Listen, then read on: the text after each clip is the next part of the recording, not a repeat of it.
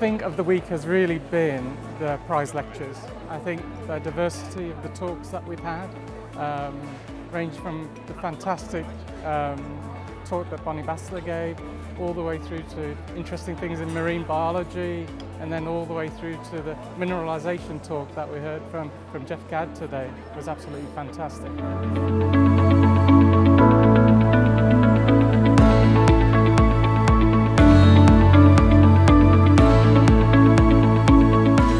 My favourite thing about the conference is the people. It's just fantastic to interact with microbiologists who've come to talk about what they're doing across all the different areas of microbiology they're working in, PhD students, professors, people who work in industry or in agriculture or whatever they do, coming and the level of energy for day after day after day is just incredible.